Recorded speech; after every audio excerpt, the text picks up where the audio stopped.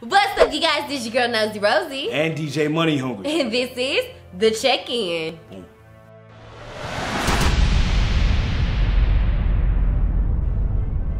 Wednesday morning, Cyntoia Brown was released after doing 15 years of her life sentence. If you guys don't remember the story of Cyntoia Brown, she was taken into sex trafficking at the age of 16. And then one day, uh, one of her clients paid for her and she ended up killing him after some type of abuse. Now in the story it was said that the client, uh, I remember, I, I, believe his last name was Allen, he was, he took her back to the place and he was showing her all these guns. She feared for her life and she took one of the guns and shot him because she thought he was about to shoot her.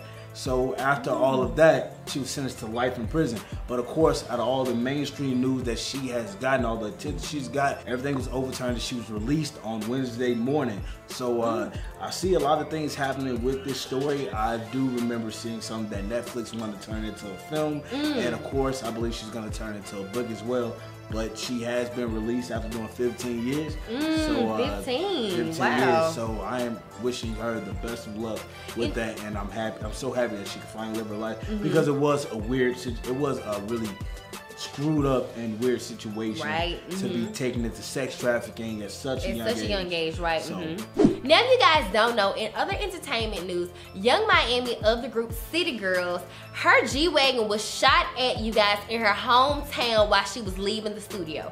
Now, if you guys don't know, her baby daddy, his name is 808 Mafia, and he did have a few with Kodak Black. So a lot of people speculate that maybe Kodak Black's freestyle up introduced into a beef honestly started the whole feud and a lot of people feel like that he was involved in the shooting when it came to Young Miami. Now, what do you think about this? Because if you also remember with that whole situation, after he dropped the freestyle, remember he dropped the freestyle from jail. Mm. So after the freestyle dropped, it started a lot of drama, especially between Young Miami and the father of her child. Mm. He did go to social media to mm. express his feelings about the situation, including calling out Kodak Black and the place that Kodak Black is from. Mm. Now, none of us can actually say who exactly did it. Right. But with all of that happening in such a, I want to say, such a timely mm-hmm. matter, of course, we're going to want to point our fingers at, at Kodak, Kodak Black. Right maybe looking at the fact that he might have tried to orchestrate that whole ordeal.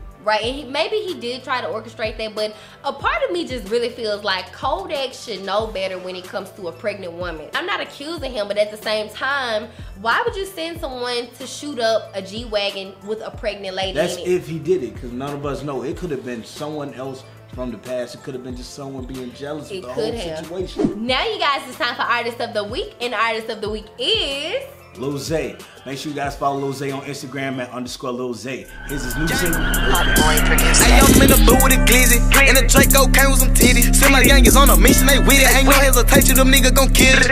Yeah. Alright, you guys, that is our show for this week. Make sure you follow us on all social media platforms and follow the station at 97.7 FM. And don't forget, we do this show every Friday. So I am DJ Money Hungry. And I'm girl Nosy Rosie. This is the check-in. Wow.